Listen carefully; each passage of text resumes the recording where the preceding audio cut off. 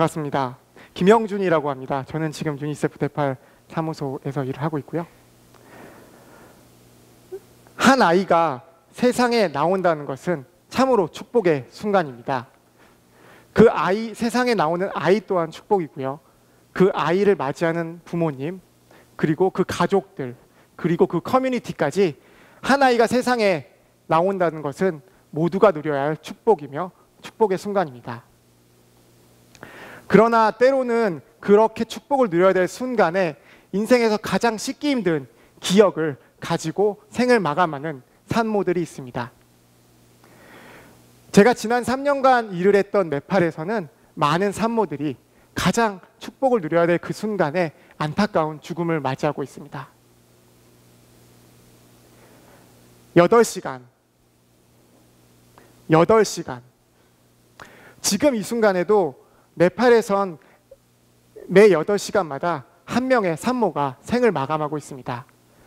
제가 말하는 산모는 태중에 아이를 베고 있거나 혹은 수술대에 누워서 아이를 낳는 산모이거나 혹은 집에서 아이를 낳는 산모이거나 아이를 안아본 지 채 한 달이 되지 않은 아, 산후조리라고 하는 산모를 말합니다. 8시간.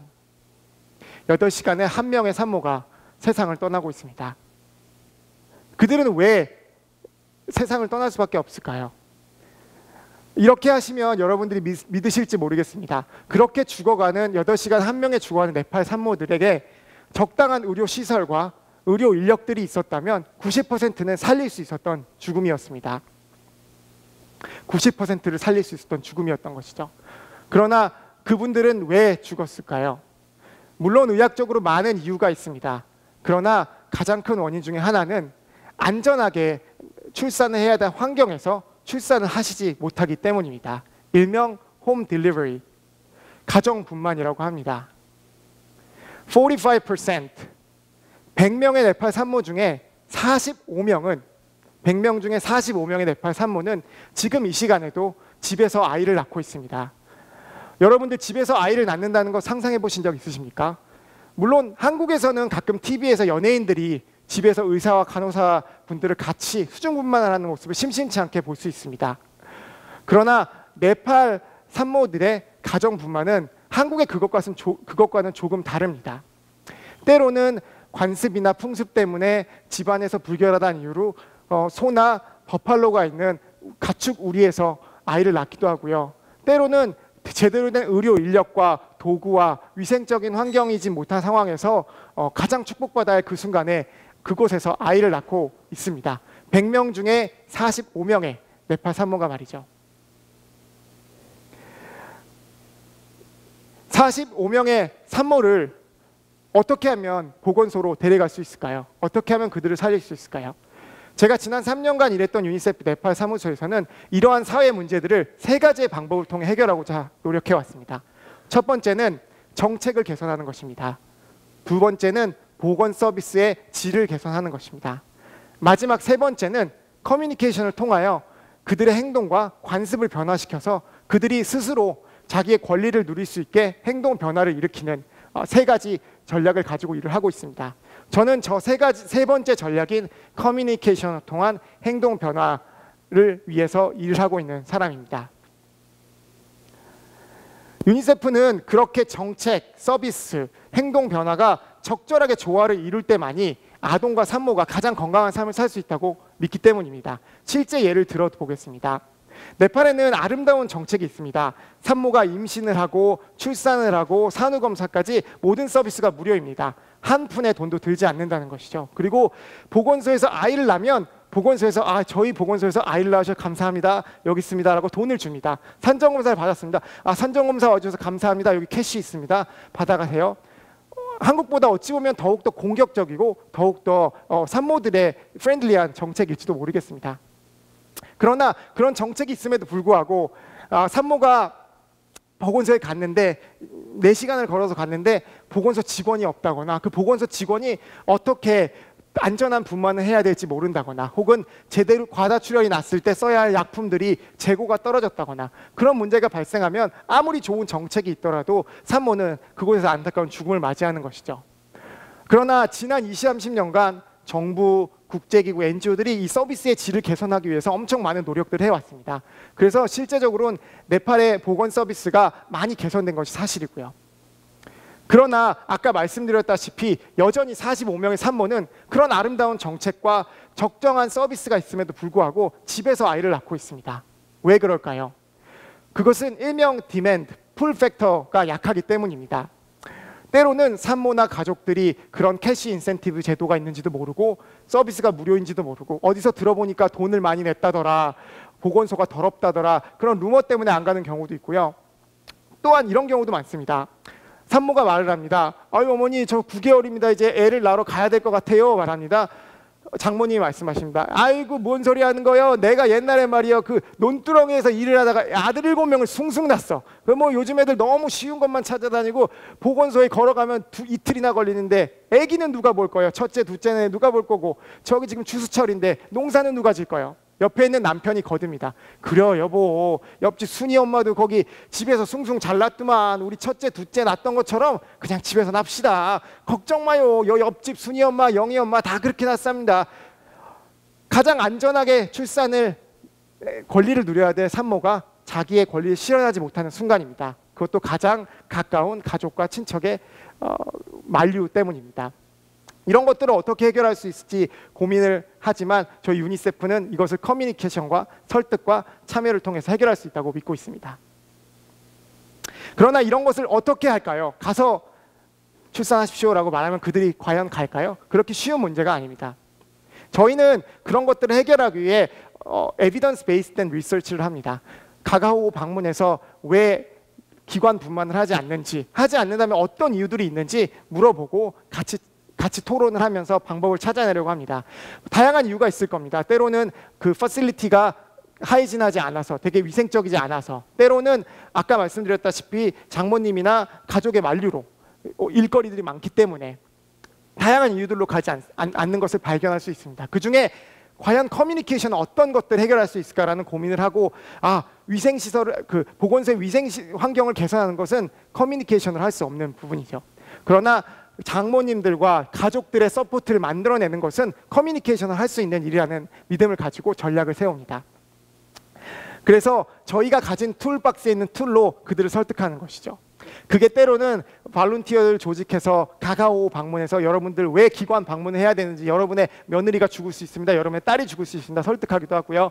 때로는 연예인들과 함께 테레비 광고도 찍고 라디오 광고도 찍어서 campaign song도 만들고요. 그다음에 뭐 한국의 쇼미더머니 같이 뭐 네팔의 아티스트들과 함께 작업을 해서 산전분만 산후분만 우리 모두 함께 건강 출산 이런 song도 만들어서 모두가 같이 부를 수 있는 환경도 만들고요. 동시에 또 연극 배우들을 잔뜩 데려가서 장날 장날에 연극 배우들과 함께 community theater를 구성을 합니다. 그러한 다양한 커뮤니케이션 채널들을 통해서 당사자뿐만 아니라 그 이해 관계자들이 그 산모가 누려야 될 권리들을 support할 수 있는 환경, 즉 institutional delivery를 할 수 있도록 어, 만드는 것이 커뮤니케이션 역할인 거죠. 또 다른 예를 들어보겠습니다. 되게 유명한 의학 잡지 란셋에 나온 논문을 인용했습니다. 5세 미만의 아동들이 죽고 있습니다. 개발도상국의 얘기고요. 왜 죽나 해보니 15% 정도가 설사로 죽는다는 것입니다. 여러분들 설사 해보셨습니까? 저도 설사 참 자주 하는데요. 개발도상에 살다 보니까. 그러나 설사로서 주변에 죽었다는 사람을 들어보신 적이 있으십니까? 없으실 겁니다. 그러나 지금 이 시간에도 개발도상국의 아이들은 설사 간단하게 치료가 가능한 설사로 죽어가고 있습니다. 그래서 또 조사를 해봤습니다. 어 그러면 어떻게 설사를 하지 않게 할 것인가? 예방이 최선의 치료책이니까요. 설사를 안 걸리면 적어도 15%의 아이들을 안타까운 죽음 막을 수 있지 않을까? 조사를 해봤더니 방법은 이렇습니다. 물론 엄청나 잘 듣는 약과 멋진 의사 선생님, 의료 인력들이 있더라도 간단한 손 씻기 하나면 그 설사를 예방할 수 있다는 것입니다. 여러분들 항상 손 잘 씻으시죠? 한국 같은 경우는 워낙 위생 환경이 좋기 때문에 손을 안 씻는다고 뭐 그것 때문에 막 감염이 되거나 막 있진 않지만 개발도상국에서는 노상 방뇨도 그렇고 정말 환경이 위생적이지 못하기 때문에 아이들의 간단한 손 씻기 문화로 어, 설사병을 예방할 수 있는 확률이 더욱 높은 것이죠. 어떻게 아이들의 손을 씻게 만들 수 있을까요? 엄마가 씻으라면 씻을까요? 아니죠.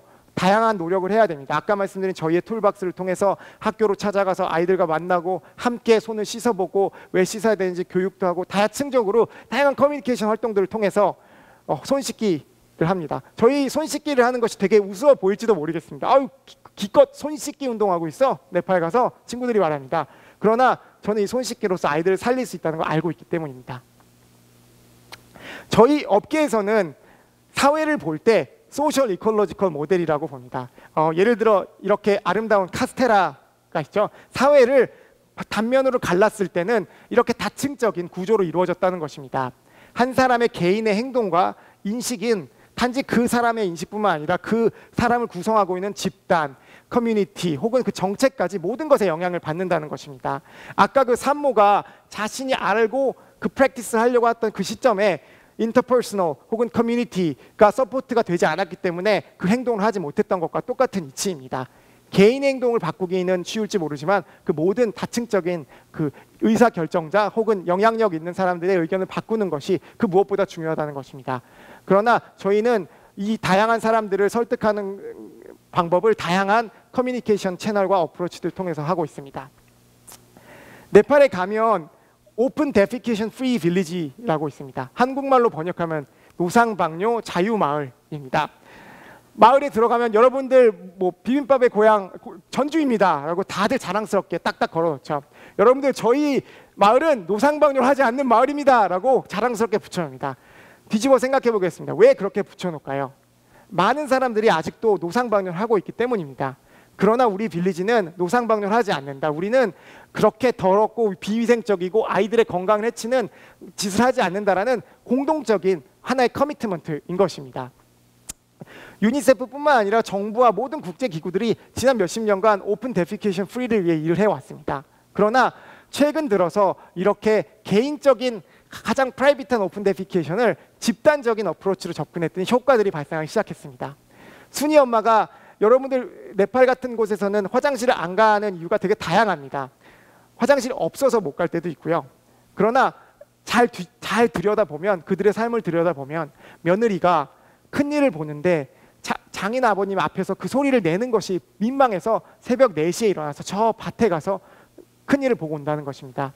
또한 대가족 상황 속에서 여성들이 어, 뒷담화 깔 곳이 없어서 나가가지고 새벽에 다른 집의 며느리들을 만나서 자기 집 뒷담화 까는 하나의 social activity로서의 노상 방뇨가 자리를 잡은 것입니다. 문화와 되게 깊이 연관되어 있는 것이죠. 그런 걸 바꾸기 위해서는 단순히 개인에게 가서 노상 방뇨하지 마십시오라고 해선 절대 바뀌지 않는다는 것입니다. 그 커뮤니티를 모두 mobilize해서 우리는 더 이상 하지 않겠다라는 서로 간의 accountability를 만들어주고 그것을 pride factor랑 연관, 연관시켜서 본인의 행동 변화가 커뮤니티를 위해서 얼마나 자, 자랑스러운 일이 될 수 있는지 그러한 것을 만드는 것 또한 커뮤니케이션의 역할인 것이죠. 월드뱅크는 매년 개발 업계에서 가장 핫한 이슈 혹은 향후 핫해질 이슈에 관한 리포트를 발간합니다. 어, 2015년도에는 Mind and Culture라는 이름으로 리포트를 냈습니다. 두꺼운 리포트를 한 두세 줄로 요약을 해보면 어, 하드웨어적인 support, 물건을 갖다 주고 어, 다리를 지어주고 병원을 지어주는 구시대적인 개발 협력으로는 더 이상 그들의 가난을 해결할 수 없다는 것입니다. 그들의 가난을 해결하기 위해선 그들의 마인드와 그들의 culture를 이해하고 그들의 문화에 맞는 솔루션을 제공해야 된다는 것이죠. 거기서 말하는 것도 그것입니다. 더 이상 개인의 행동 변화는 의미가 없다. 집단적인 행동 변화, 그 social movement를 만들어내는 것이 어, 비용 대비 가장 효과적이며 가장 지속적인 변화라는 것입니다. 유니세프는 그런 사회 변화의 movement를 커뮤니케이션이라는 tool을 통해서 해결을 하려고 하고 있습니다. 그 리포트에 이런 말이 있습니다. 가난은 여기서 바로 문법 들어갑니다. 가난은 not only 나왔죠. 예. as a state of deprivation. 물질의 부족만이 아닌 것입니다. decision making을 할 수 있는 환경 또한 그 자산 또한 가난에 아, 연관돼 있다는 것이죠. 아까 그 산모가 아이를 낳고 싶었지만 본인의 의사 결정을 행동으로 실현할 수 없었던 이유는 가족의 support가 없었기 때문입니다. 가족에서 본인이 가진 decision making power가 없었기 때문입니다. 그런 것 또한 가난이라는 것입니다. 단지 물질을 갖다 주는 것만이 그들의 삶을 개선시키는 것이 아니라 그들에게 목소리를 낼 수 있는 여성들에게 그들의 목소리와 그들의 의견을 주장할 수 있는 어, 툴들과 인파워먼트가 같이 갔을 때만이 진정으로 가난과 그들의 빈곤의 선을 끊을 수 있다는 것입니다. 저희 업계에서는 이런 말을 합니다. Tell me. 말해 보십시오. I will forget. 까먹을 거예요. 그렇죠. 엄마가 맨날 입을 개라고 말하지만 여러분들 까먹지 않으십니까? 입을 안 개고 가시죠. Show me. 보여주세요. 그럼 I may remember. 아마도 기억할지 모르겠습니다. 가서 막 영상 보여주고 하면 아마도 기억할지 모르겠습니다. 그러나 involve me and I will understand. 나를 참여시켜 주세요. 나를 함께 한다면 아마도 이해할 것입니다라고 말을 하고 있습니다. 제가 생각하는 커뮤니케이션은 이렇습니다. 단지 보여주고 가서 말하고 어떤 홍보식의 커뮤니케이션이 아니라 그들을 같이 참여시키고 그들의 이야기를 들으면서 그들과 함께 솔루션을 찾아내는 커뮤니케이션을 어, 추구하고 있습니다. 저는 개인적으로 제 사명을 커뮤니케이션 닥터라고 생각합니다. 닥터. 저희가 의사일까요? 저는 의사는 아닙니다. 그러나 제가 가지고 있는 달란트인 커뮤니케이션을 통해서 사람을 살릴 수 있다고 믿고 있기 때문입니다. 지금 이 시간에도 8시간의 한 명의 네팔 산모가 안전하게 출산하지 못하여서 안타까운 죽음을 맞이하고 있습니다. 그들에게 제발 여러분의 권리를 누리십시오. 모든 서비스가 무료이니 산모 보건소에 가서 아이를 낳으십시오. 여러분들 가족들의 support가 중요합니다라고 끊임없이 설득하는 작업을 하고 있습니다. 왜냐하면 저는 이러한 일련의 커뮤니케이션의 노력들이 개인의 변화뿐만 아니라 집단의 변화, 그 커뮤니티까지 건강하게 살릴 수 있다고 믿기 때문입니다. 어, 커뮤니케이션을 통해서 이렇게 많은 일을 할 수 있을지는 몰랐습니다. 그러나 제가 이, 런 일을 하면서 느낀 것은 어, 커뮤니케이션이라는 tool을 통해서 사람을 분명히 살릴 수 있다는 것입니다. 이상입니다.